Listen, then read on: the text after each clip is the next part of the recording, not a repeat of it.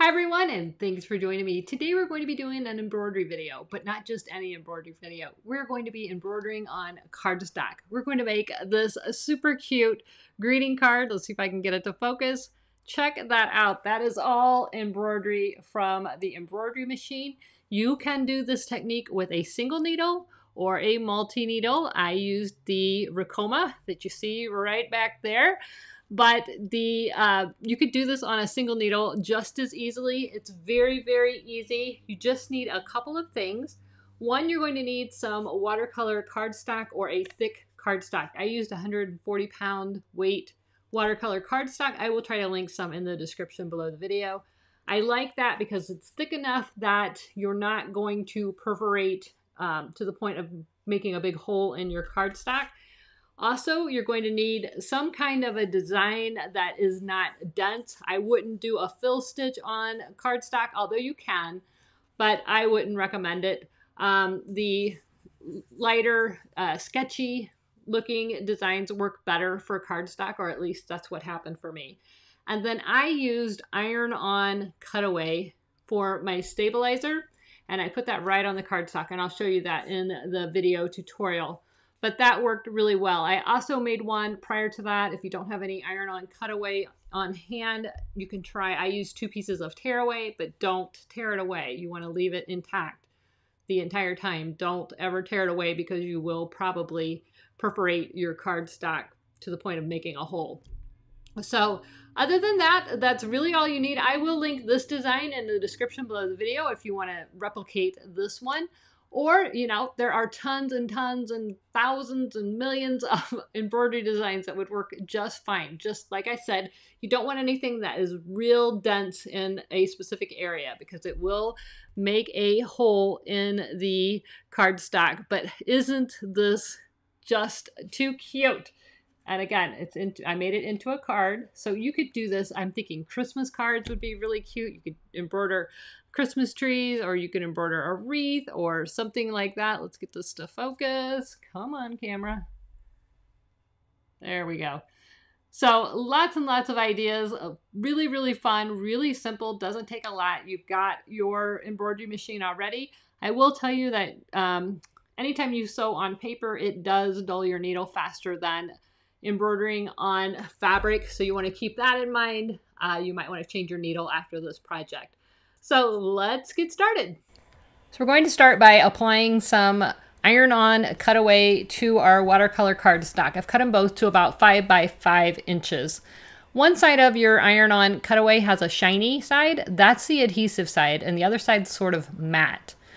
On the watercolor paper, there's usually one side that's smooth and one side that's rough. You can use whatever you want. I'm going to say the smooth side is the back. So I'm going to apply the shiny side of the iron-on towards the smooth side of the cardstock. You can do it either way you want, but you want to make sure that you are ironing on the matte side of the iron-on tearaway, so not the shiny side. The shiny side is the adhesive. You want to put that against the cardstock. Just takes a few seconds with a hot iron and you will have a piece that is all connected and glued together. And that should provide enough stabilization for the embroidery to keep it from tearing. So you can see it's become one. So over here at the embroidery machine, I've used a little bit of temporary adhesive and sprayed the back, the side that has the iron-on cutaway. And that's just to make it grip a little bit better. And I'm just going to place this right inside the frame and make sure that it's tacked down nicely. And then we're just going to do our usual lining it up, making sure that it's centered.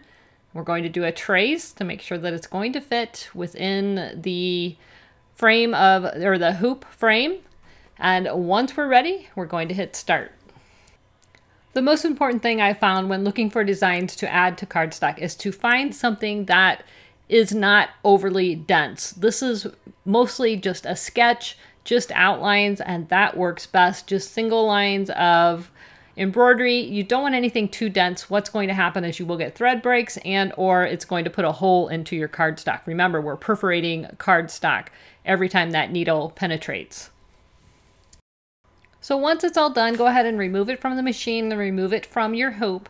And then just use the cardstock on the top, the 5x5, to cut the rest of the um, cutaway away. You don't want to try to rip this off. You will rip the cardstock. You don't want to use the tearaway. Although I did try my first version with two sheets of tearaway and it worked.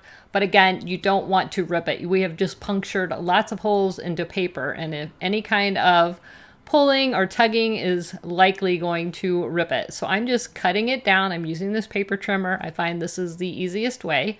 And so now we're left with about a four and a half by four and a half inch piece of cardstock. So what we're going to do is mount this on a another piece of cardstock to create a card. But first I thought we would add a few embellishments. So I've got a scrap piece of my watercolor paper and a red marker and I just thought either I'm going to make some hearts to make it like she's blowing kisses, which is how the original embroidery file looked, or maybe just put a heart under the love. So I have a little heart stamp. You could easily cut these by hand, or if you have a Cricut or a silhouette, you could use that.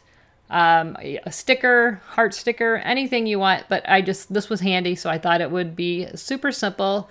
So I'm kind of just playing around and trying to see if I want to do like three little hearts, like she's a blowing kisses, which I think is really cute or maybe just put a heart down by the word love.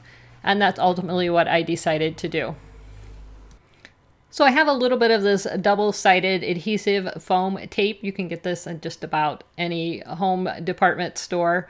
Or you could just use, just put it flat down, glue it flat down on the card, whatever you want. I just thought this would add a little bit of dimension to the card. So I'm just adding a little tiny piece behind this heart and I'm going to stick that right at the word, at the end of the word love. And that just makes it pop up off the cardstock a little bit, again, just to add a little bit of dimension to the card, a little bit more, because we already have dimension with the embroidery, right?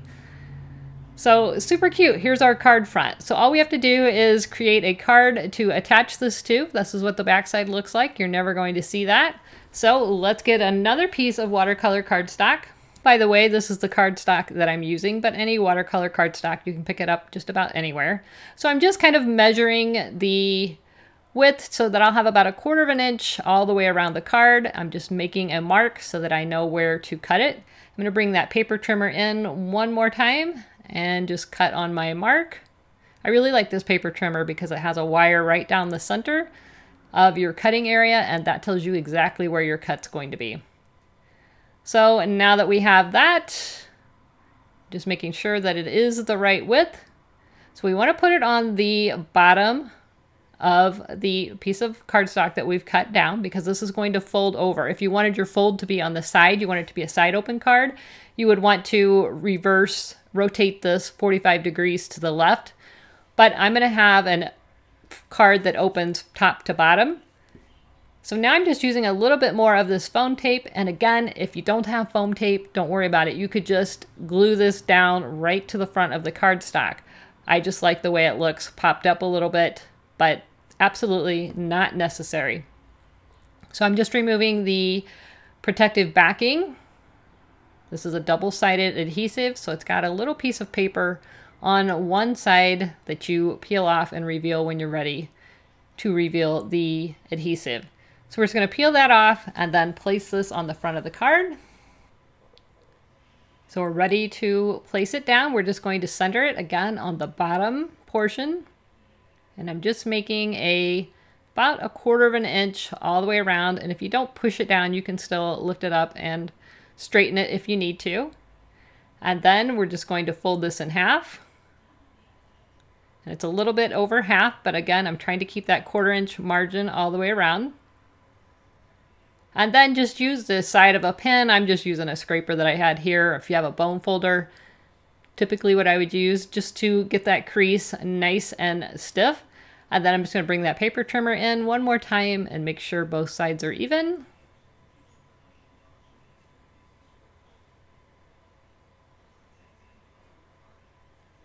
And there you have it. Here's our little greeting card. How cute is this? And so simple, but really, really looks expensive. It's a one of a kind and your recipient will be really, really surprised when they open up and feel that there are real stitches on top of this card. And here's another version. I think this looked really cute with the just one single heart in her hand blowing a kiss. So I hope this video inspired you to create some cards or to embroider on cardstock. I think it's a really fun alternative way to use your embroidery machine and what a wow factor when someone gets a card that has embroidery on it. If you enjoyed this video, please like, subscribe, and share. Don't forget to click that bell so that you're notified every time there's a new video. Thanks so much for watching, and until next time, never stop making. See ya. Bye-bye.